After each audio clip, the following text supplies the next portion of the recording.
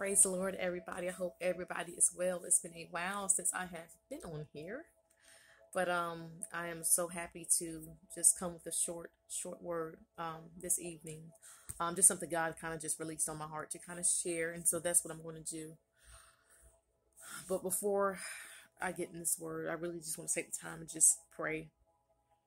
I like to kind of always pray because it kind of God kind of gives me direction on which way to flow and which way to go. Um, this message may not be for everybody, but it, but it could be a message for everybody, if that makes sense. A timely message or um, something that's just in the midst at the right time. Um, so let's get into it. Um, Father, we just thank you, God, for who you are, God. You are God of living water, Lord. And I ask, Father, in Jesus' name, Lord, that you open up the eyes of our heart, open our heart to hear you, our eyes to see you. Give us not only um, sight to see you, but vision and insight, God. And Lord, we just thank you for who you are. You are truly God of living waters, Lord. Live through us, God. Breathe in us, God. And overflow in us, God. Use our lives for your glory. In Jesus' name, amen. Um, so I'm sitting here and just meditating on God's word and there was something that really came in my spirit strong. And this is what I heard the Lord say. I heard the Lord say, finish strong. Finish strong.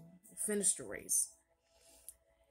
You know, if you look around in the world that we're living in today, it's so much chaos going on and so many things going on, not even in the world, but even in the kingdom too. And, and there are so many things that we can't see that's happening all around us. Just as much things are going on in the um soulless realm is happening here in the natural realm as well. And what I realize is that when times get hard and when times seem like they're just like uh, when it's when we're seeing like we're in a place of despair, that is not the time to give up. That's the time to keep going. And as human beings, that can really be easy and um easy to really just throw in the towel and want to just walk away. There's even times where we could just be discouraged. Like there's been days where I've been discouraged. Like we all have been there. But remember one thing, you have to still keep running in the race. And I just think that's so important. So I want to read you guys something um, that kind of stood out to me, something that the Lord showed me, okay? And I'm coming right now. I'm coming from Zephaniah, Zephaniah, uh, three, chapter three, um, verse fourteen. This is what it says. It says, "Sing for joy, daughter Zion. Shout loudly, Israel. Be glad and celebrate with all your heart, daughter Jerusalem." It says, "The Lord has removed your punishment. He has turned back your enemy. The King of Israel, the Lord, is among you. You you need no longer fear him. On that day, it will be said to Jerusalem." Do not fear, Zion. Do not let your hands grow weak. The Lord your God is among you, a warrior who saves. He will rejoice over you with gladness. He will be quiet in his love. He will delight in you with singing.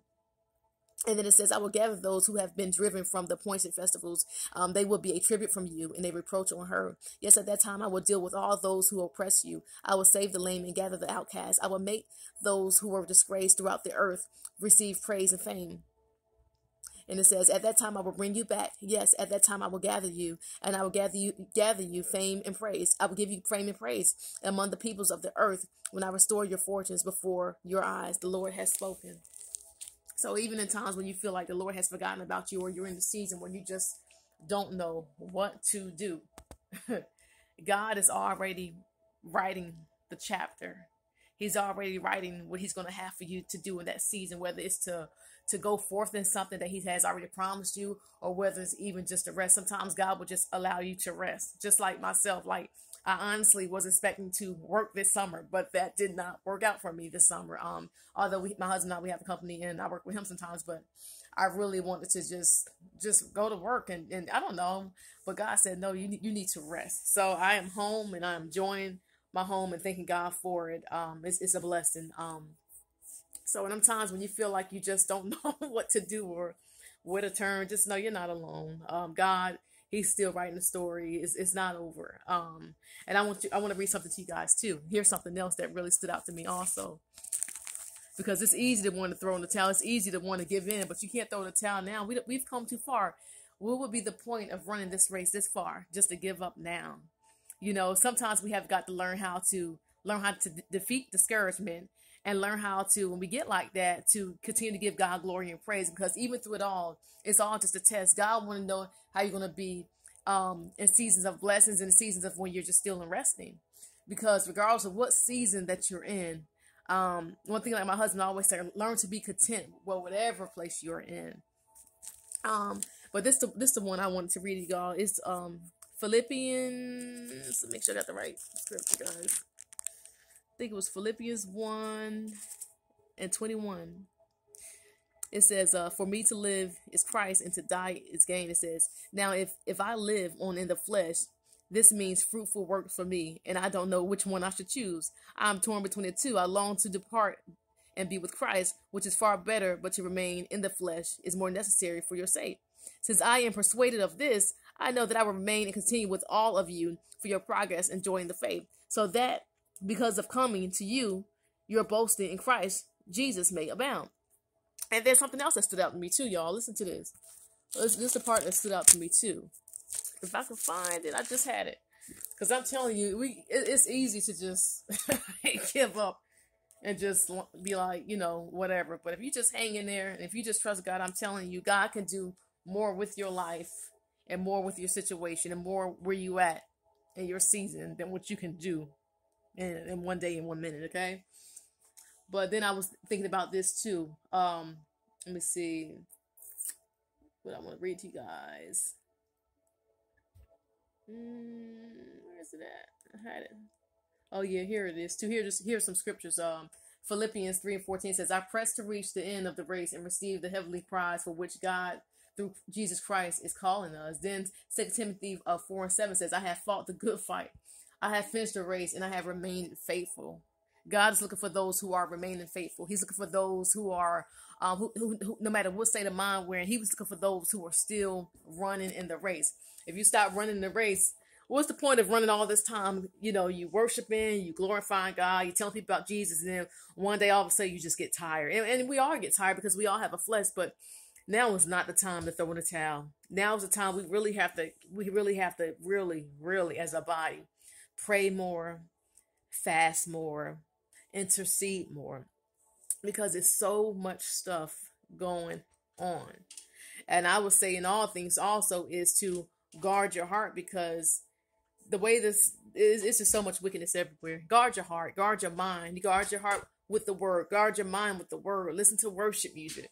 Get get around from negativity and, and, and, and toxic things or toxic people, toxic conversation because the enemy he's only looking for that small crack, and if he get that small crack, that's gonna be his access for him to get in. Okay, so just be I would say be mindful of conversations, be mindful of what you attach yourself to, be mindful of your atmosphere. It's like right now, I'm listening to this um thing on YouTube, and it's called uh the name of this is called it says atmosphere changer. Let me see if I can switch my screen. But anyway, you can kind of see it. It says atmosphere changer, and it's a worship instrumental. And I just would kind of sit here, just kind of listen to it, and really just um meditating on it and stuff. But I will say this: I will encourage you to to seek God and and, and search for Him, and and you know with all your heart because those are the ones that he's looking for. Those, regardless of what's going on in life, the ones that are still praising him, the one are still who, the ones who are still talking to him and spending time with him.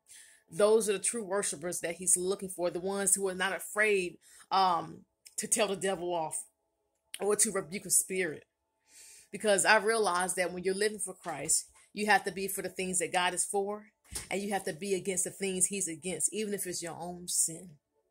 I don't want nobody to tell me that I'm doing something right when I know it's wrong. I need a brother and sister to convict me, to rebuke me when I am wrong. And so, um, with that said, I encourage everybody stay in the race, finish strong.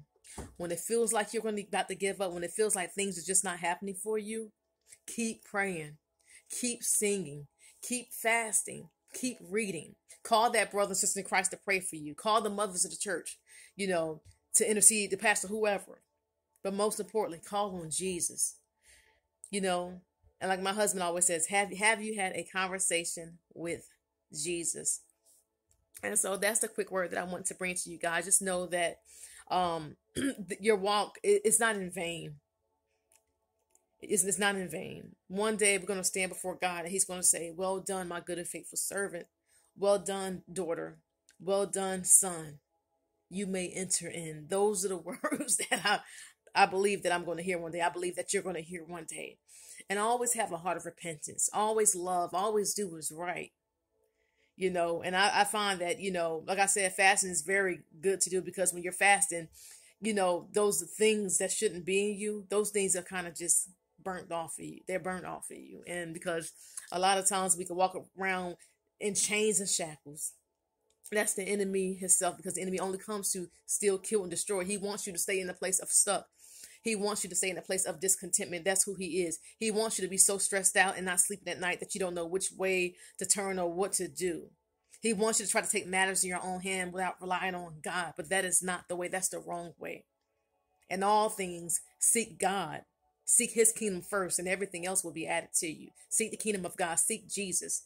You know, and then those are the things I realized that before any and everything, God has got to come first. Not your job, not a position, not a title, not your kids, not your spouse. God has got to be number one in your life. God is far he has to be first and foremost in your life above all things else. So I want to just encourage you guys tonight to just give God the glory, give him the glory, give him the honor that's due unto his name because he is a good God. He's glorious. And in spite of what you may be going through right now, God is still good. He's always been good from the very beginning. He has never left us. He has never forsaken you. He's always been good. So I pray that the Lord will bless you guys, that he will um, comfort you, that He will um, be there for you. Um, and and like I said, stay prayed up. These are some evil wicked times. Evil wicked times. You got a lot of wicked things out there. Stay prayed up and seek God. And I pray that you guys will be blessed and that you guys get everything that He has for you in Jesus' name. Be blessed.